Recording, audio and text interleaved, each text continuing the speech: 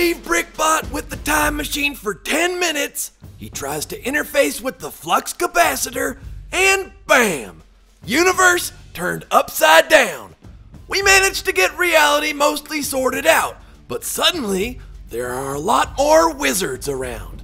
To better acquaint you with the new hazards and opportunities, it is time to take an overview of Brick Force Season 3 Bricksaga.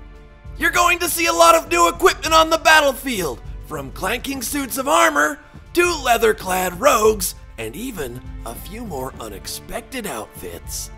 There are new weapons to deal with as well, including the surprisingly fast Mage's Staff, a heavy crossbow, and these noxious potions.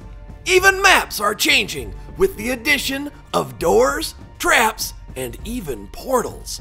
What's next? Combustible lemons? Return to this briefing in one week for more details on Brick Force Season 3 and the new weapons, gear, and blocks. Dismissed!